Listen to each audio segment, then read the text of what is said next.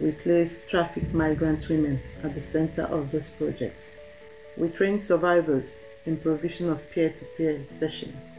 We interviewed trafficked women survivors in all participating countries, and they gave their opinion on what is appropriate and helpful in areas of legal assistance, material assistance, and various integration support linked to education, training, and employment. A pilot program for training of survivors who have already recovered and integrated gave survivors the platform and the core role of providing assistance as positive role models to recently identified victims through the peer-to-peer sessions.